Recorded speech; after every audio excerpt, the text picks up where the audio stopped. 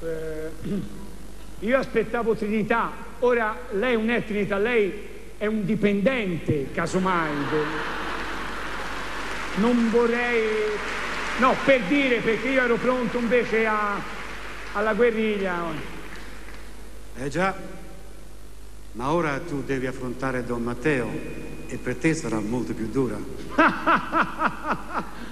Sarà molto più dura.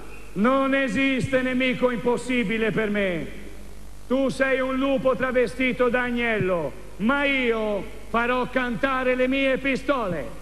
Scusa, e mi sembrava una scusa.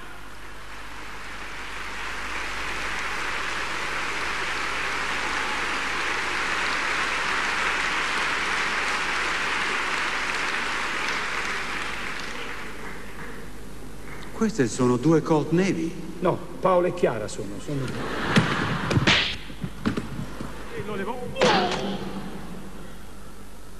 Io che... Oh! Oh! Oh! Oh! Ma io giovanotto!